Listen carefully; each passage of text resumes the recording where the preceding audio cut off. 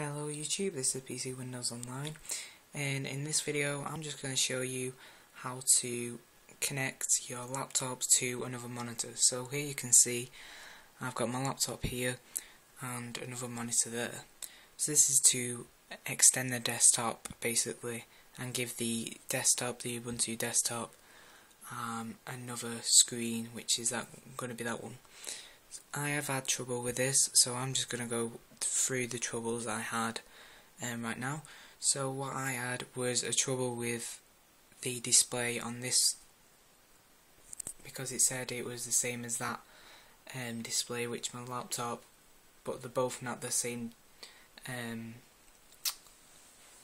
display. So what I'm going to do now is going to plug it in and I'm going to show you um, a program inside of Ubuntu um, which is called monitors which deals with these problems. So I'm just going to put this camera down for a minute. I'll be right back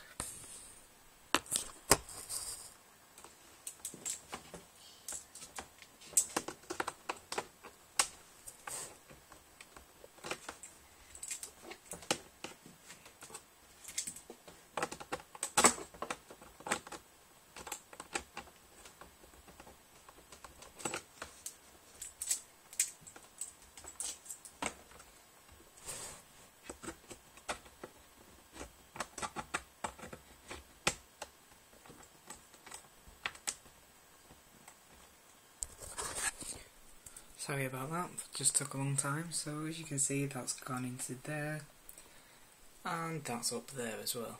So I've got two monitors there. So if I open a web page from here and dragged it up there, it will go up there. But I didn't have this set up like this. That screen was too big and it didn't fit on the screen properly. So I'm just going to go to the laptop screen now and I'm just going to type in monitors. And there it is monitor.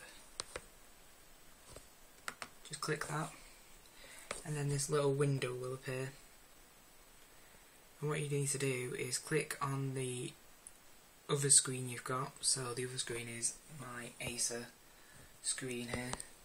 If you can see that now you can. So it's an Acer screen there.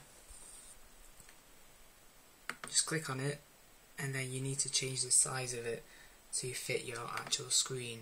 So it depends what your screen is. Um, hopefully it'll do it by default and hopefully it'll check that it's by default. But if it doesn't then you need to go into this program and you need to change the settings to make it work. But when I fiddled around with it um, it did actually work and it's working perfectly now as you can see. I'll just angle it so you can see See? So now you've got two desktops um, to work off in Ubuntu. So thank you for watching this video. This has been PC Windows Online. If you want to rate, comment and subscribe, um, be much appreciated and I'll see you in my next video. Thank you for watching.